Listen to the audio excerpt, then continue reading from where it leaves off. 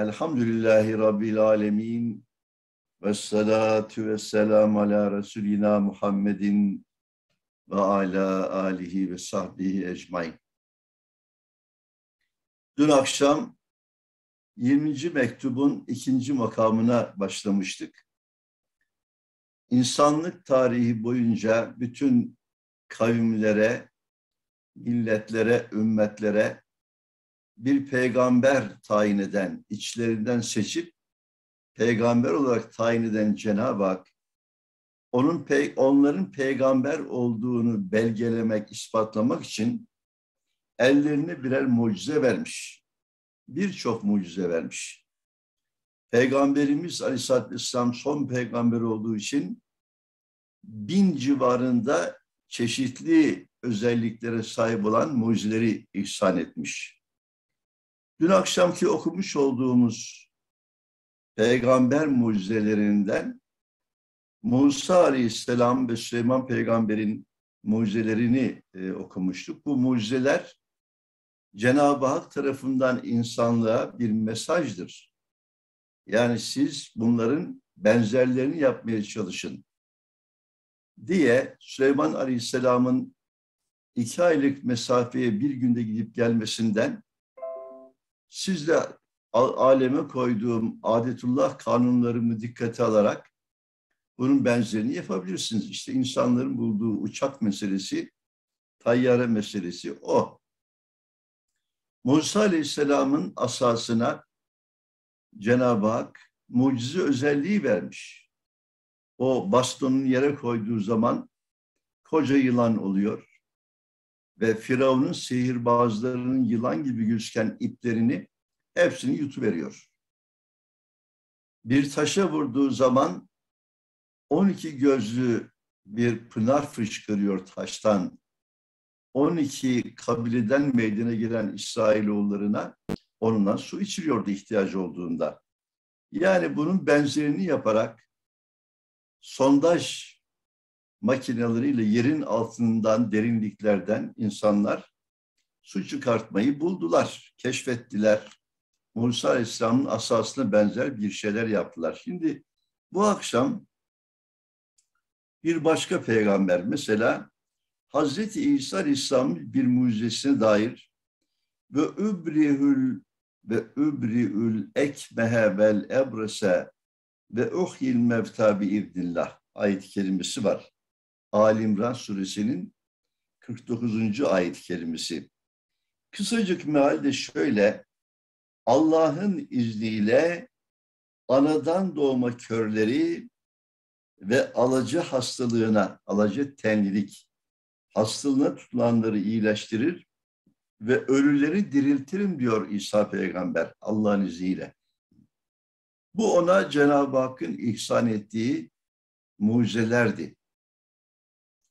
Kur'an Hazreti İsa Aleyhisselam'ın nasıl ahlak-ı ulviyesine, onun yüce ahlakına ittiba uymaya beşeri insanlığı sarihan açıkça teşvik eder öyle de şu elindeki sanatı aliyeye ve tıbb-ı Rabbaniye remzen tergib ediyor.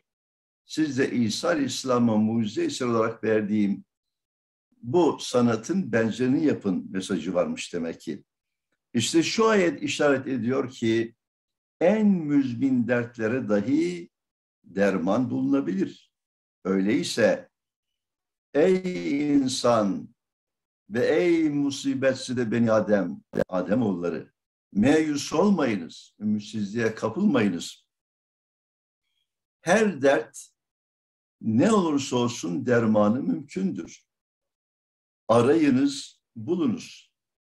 Hatta ölüme de muhakkat bir hayat rengi vermek mümkündür. Cenab-ı Hak şu ayetin lisan işaretiyle manen diyor ki, Ey insan, benim için dünyayı terk eden bir abdime, bir kuluma iki hediye verdim. Biri manevi dertlerin dermanı, biri de maddi dertlerin ilacı.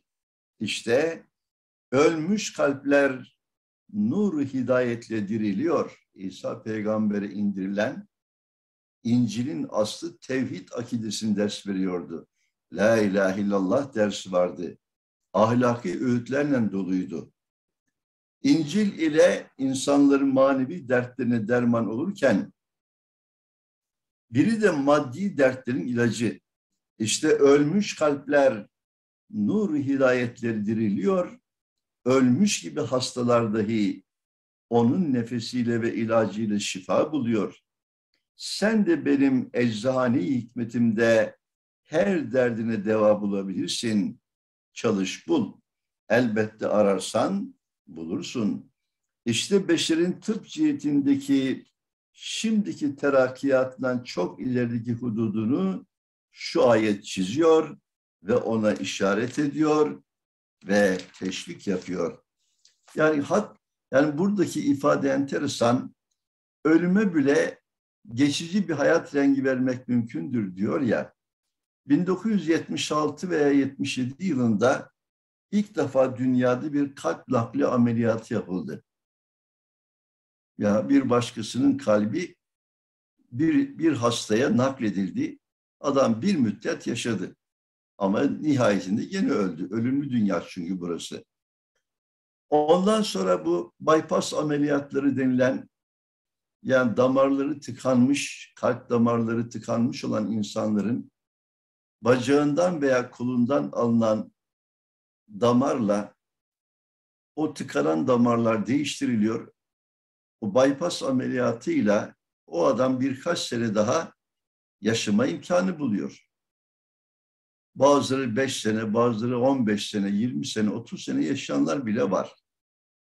Mesela böbrek nakli ameliyatı yapmak suretiyle normalde böbrekleri iflas etmiş bir insanın ölmesi lazım. Ama diyaliz cihazıyla bulunmuşsa böbrek nakli ameliyatı yapılmakla adamın ömrüne biraz daha ilave yapılmış oluyor. Allah onu da bildiği için o adamın eceli böbrek nakli ameliyatı yapılırsa şu kadar yapılmazsa bu kadar. Allah'ın ilmi her şeyi kuşatmış vaziyette. Allah her şeyi biliyor ilmiyle kuşattığından dolayı son şeklini ezelde kader olarak yazmış oluyor. Karaciğer nakli ameliyatı uzun yıllar boyunca dünyada yapılamadı. Nihayet yapılmaya başlandı. Karaciğeri sirozdan dolayı iş görmez hale gelmiş olan nice hastalar nakil yapılmak suretiyle onlar da bir müddet yaşatıldı. Hatta iyi hatırlıyorum Türkiye'de ilk karaciğer nakli ameliyatı yapılan kişi e, Sadri Alışık diye bir film artistiydi. Adam dört sene daha yaşadı ama gene öldü. Yani ne yaparsan yap. Sonu en nihayet gene ölüm tabii. Demek ki İsa peygambere verilen o mucizelerle e, ölüme bile geçici bir hayat rengi vermek mümkün olur hale geldi dünyada. İşte bu organ nakilleriyle bu dahi gerçekleşti. Hazreti Davud Aleyhisselam hakkında ve elenne lehül hadid ve eteynâhul hikmete ve faslel hitab Bakalım neymiş bu ayetlerin meali? Demiri onun için yumuşattık diyor Cenab-ı Hak Sebe suresinin 10. ayetinde. Ona ilim ve hikmet ile hakkı ve batılı açıkça ayırt eden bir ifade gücü verdik. Bu ayetler de Hazreti Süleyman Aleyhisselam hakkında da ve esenna lehu aynel kıtr. Bu ne? erimiş bakırı ona sel gibi akıttık.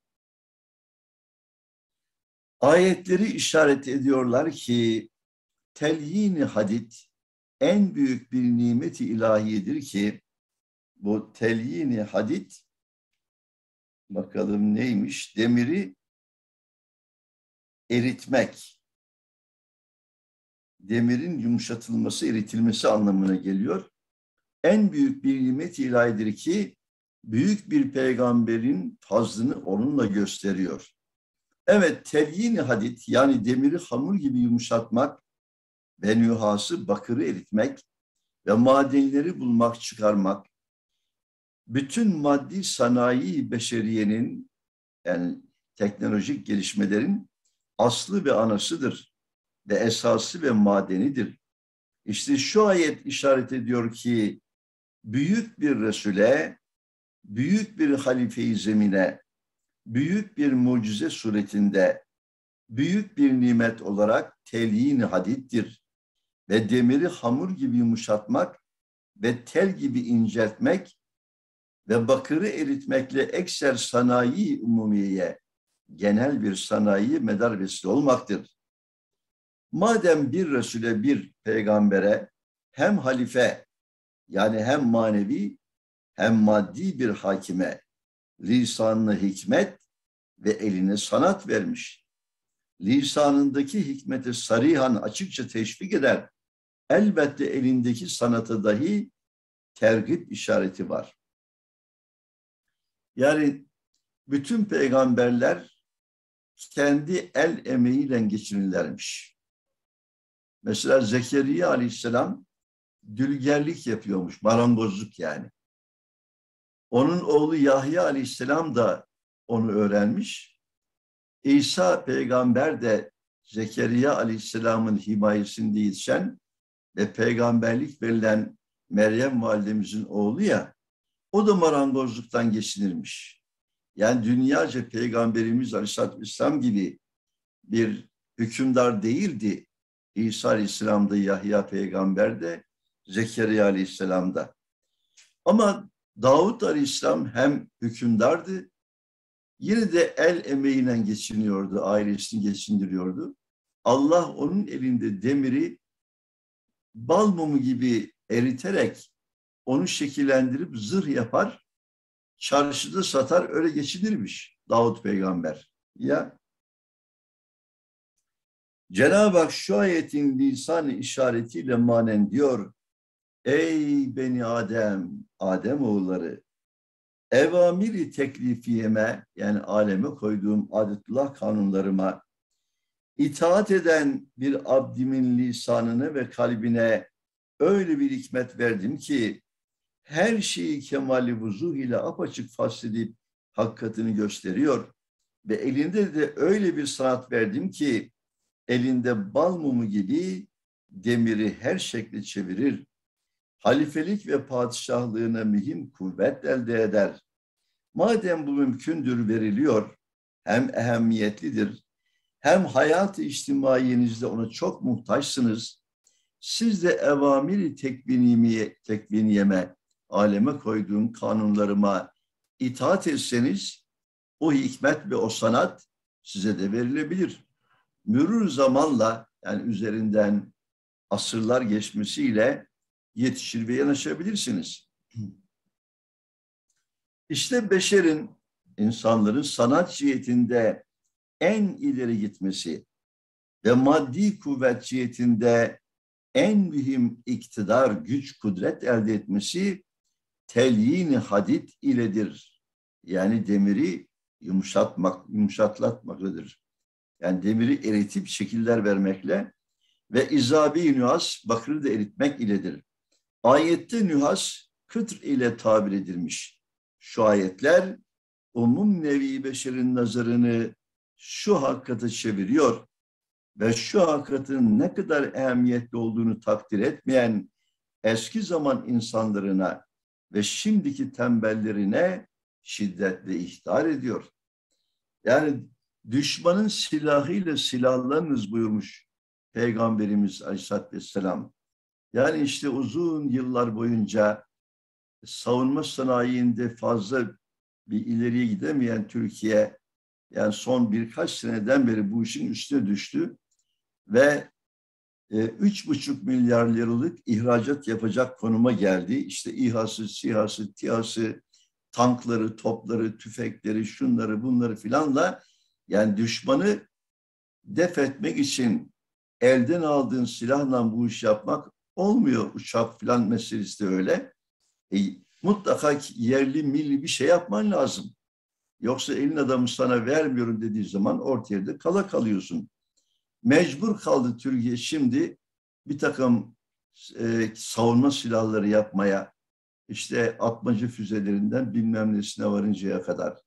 Ayrıca işte şimdi kendi e, uçağını, savunma uçağını yapacak teşebbüslerin içinde Allah muvaffak kılsın. Yani geçmişte merhum Süleyman Demirel diyordu ki benim ülkeme toplu ne kadar faydası olan, katkısı olandan ben memnuniyet duyarım. E biz de kim olursa olsun ülkemize, memleketimize ne kazandırıyorsa Allah razı olsun deriz biz. Bizim başka bir ters bakışımız olmaz. Haliyle yani ülkemize kazandırılan şeyler memnuniyet verici şeylerdir. Dört tarafımız düşmanlarla çevrili. Görüyorsunuz yani terör devleti kurmaya çalışıyorlar. Yunanistan'ı kışkırtmaya çalışıyorlar. İran bir ayrı ders zaten. Suriye, Irak ayrı bir şey. Dolayısıyla e, ülkemizin savunmasında hücum etmek için, taarruz etmek için değil, üstümüze gelenleri püskürtmekte, demiri işte yumuşatarak tank yap, top yap, tüfek yap, uçak yap, İHA yap, SİHA yap, ne yaparsan yap arkadaş. Vatanı koru. Bundan da istifadeye Cenab-ı Hak Kur'an-ı Kerim'inde Davut peygamberin mucizesini nazara verirken burada teşvik ettiğini Üstad söylüyor. Hem mesela Hazreti Süleyman Aleyhisselam tahtı Belkıs'ı Yemen kadın sultanı olan Belkıs diye bir kadın varmış. Onun tahtını yanına celbetmek için vezirlerinden bir alimi ilmi celp dedi. Gözünüzü açıp kapayıncaya kadar sizin yanınızda o tahtı hazır ederim. Olan hadise-i harikaya delalet şu ayet. Bu da Neml suresinin 40. ayet kerimesiymiş. Bismillahirrahmanirrahim. Gâlellezî indehu ilmun minel kitâbi ene âtike bihi kable en yertedde ileyke tarfük felamma râhu müstakiren indehu. Allah Allah. Meali şöyle, semavi kitapların esrarına, sırlarına vakıf bir alim ise, sen daha gözünü açıp kapamadan ben onu Belkıs'ın tahtını sana getiririm dedi. Süleyman Belkıs'ın tahtının yanında hazır görünce anlamındaymış bu ayet-i kerime. Ayet işaret ediyor ki uzak mesafelerden eşyayı aynen veya sureten ihzar etmek, hazır etmek mümkündür. Ayette bu mesaj var. Hem vakidir ki risaletiyle beraber hem peygamber hem de saltanatla müşerref olan bir hükümdarlık vazifesi de var. Hazreti Süleyman Aleyhisselam hem masumiyetine hem de adaletine medar vesile olmak için pek geniş olan aktar memleketine, memleketin her tarafına bizzat zahmetsiz muttali olmak, haberdar olmak ve raiyetinin, ahalisinin ahvalini görmek ve dertlerini işitmek bir mucize suretinde Cenab-ı Hak ihsan etmiştir.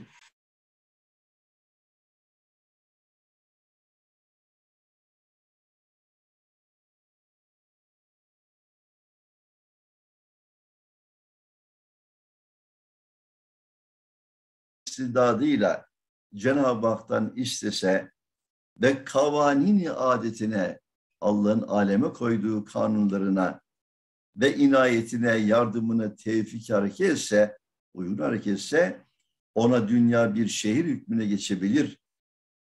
Demek tahtı Belkıs, Belkıs'ın üstüne oturduğu tahtı Yemen'deyken Şam'da aynıyla veya suretiyle hazır olmuştur görülmüştür.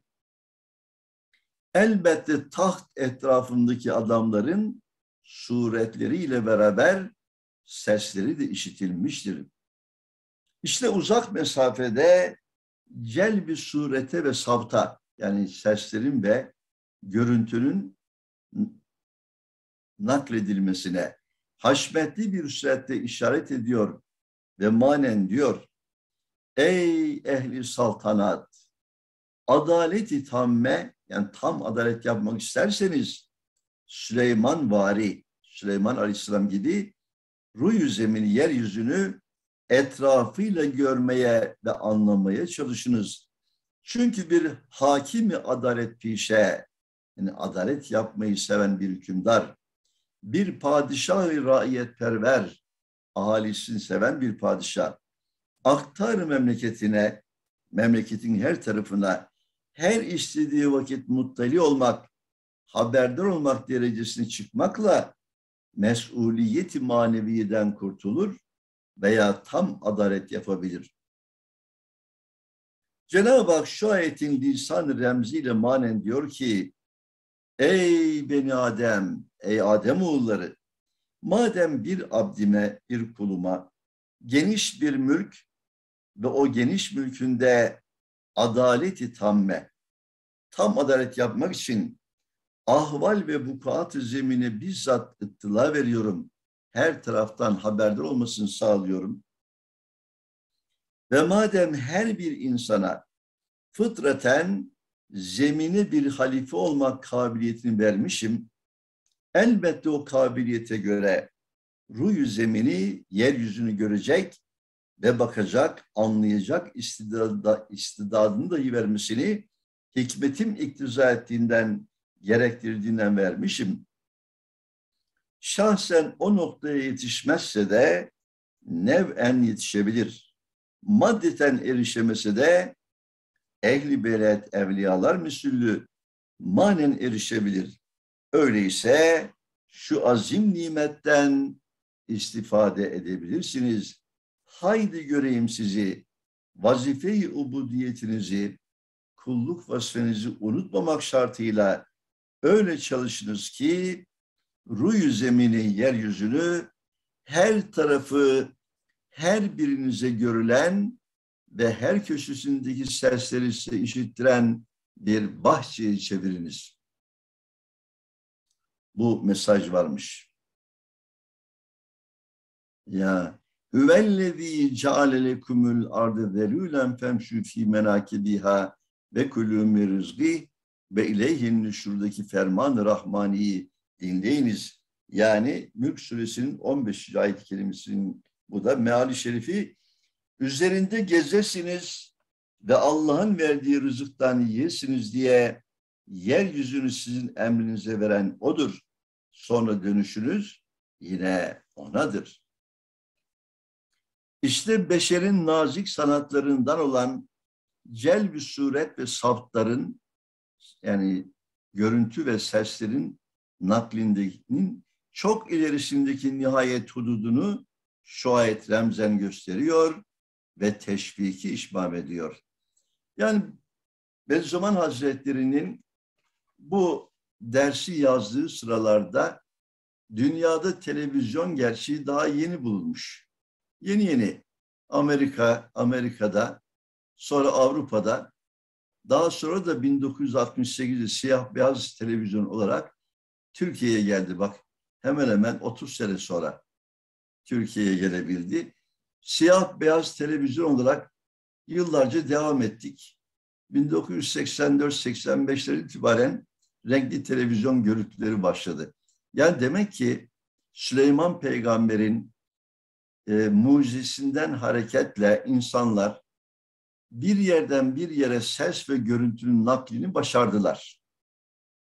Şimdi artık televizyon basit bir şey haline geldi. Herkesin bildiği herkesin normalden gördüğü bir şey ya. Aslında mucizevari bir hal bu.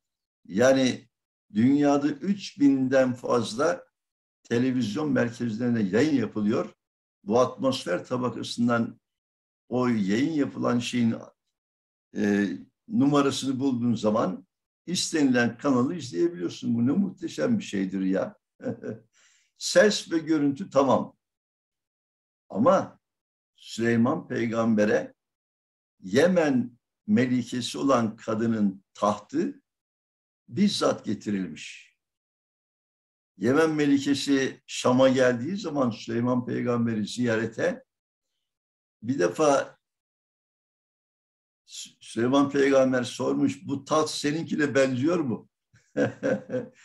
Kadıncağız demiş aa demiş tam benim tahtım gibi bu. Demek ki aslını da getirmişler yani eşyayı aynen nakil meselesi var o mucizede.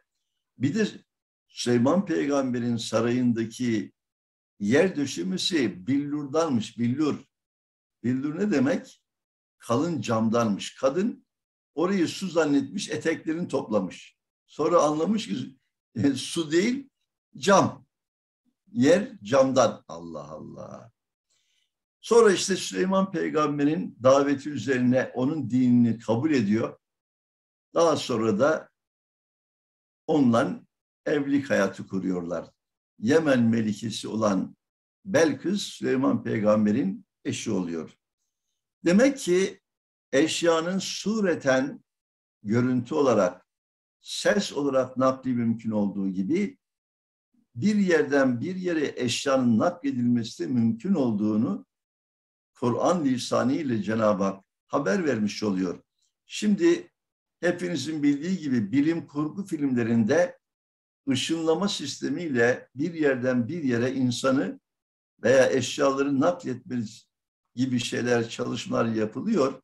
Orada bilim kurgu filminde hemen naklediyor. Adam bir yerde bir anda peydahlarını veriyor. Bir yerden bir yere hemen orada bulunuyor. Bu bilim kurgu. Ama insanlar bunu önce hayal ediyor.